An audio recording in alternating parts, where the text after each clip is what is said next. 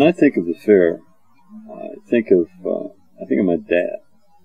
he wasn't from Alaska, but he lived here for almost five years, and uh, passed away when he was 91.